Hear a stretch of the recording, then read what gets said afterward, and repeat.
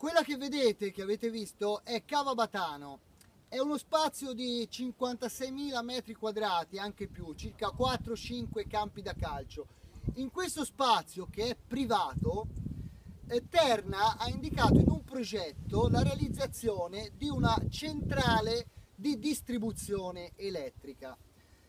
Eh, qui a fronte di una linea di 8 km da sostituire si intende fare 26 km di linea nuova più una mega centrale come questa. A noi ci sorgono dei dubbi, noi abbiamo presentato un'interrogazione in Regione Toscana per andare a capire se questo è un luogo adeguato e lecito per poter fare una centrale di quel tipo. Quindi vorremmo fare tramite ARPAT indagini geognostiche per capire eh, che sia omogenea e conforme alla realizzazione.